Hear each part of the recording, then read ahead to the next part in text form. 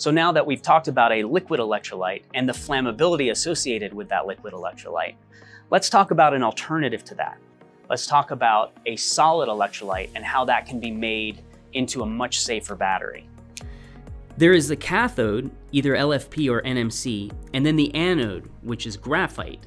We don't actually need a liquid and separator here at all, as the electrolyte itself, which is solid, allows transport of lithium ions back and forth between the anode and cathode, and also acts as the separator.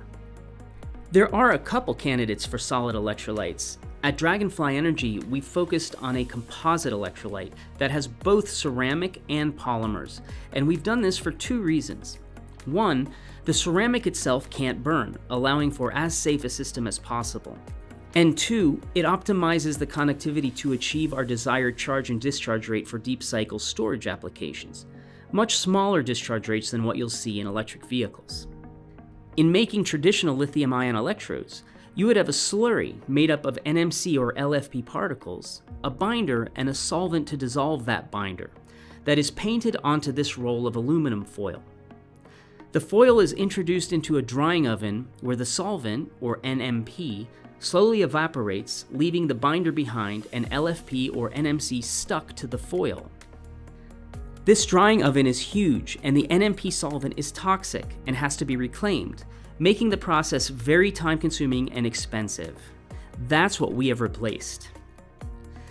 So what we do that's different is, instead of making a slurry, we have a dry powder coating process where we have an aerosolized dry powder that's composed of both the binder and the electrode material, which could be LFP or NMC. The powder is dry coated onto the foil and can actually be done simultaneously on both sides.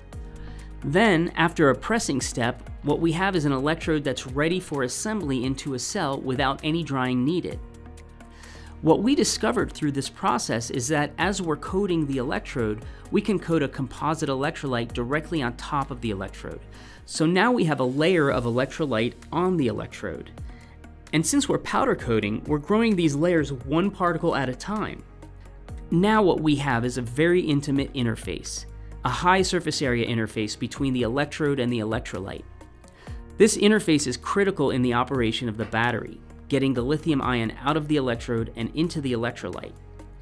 This patented technology is what we do really well here, and it's what makes us different and because it's chemistry agnostic, this can be used and licensed for a wide variety of chemistries and therefore applications. So while we are super excited about the solid state technology, we're not developing any new electrode materials, we're not developing any new electrolyte materials, but we are inventing the processes that are required to make these cells on a mass scale. We're inventing scalable processes that will allow us to feasibly produce solid state storage batteries in the US.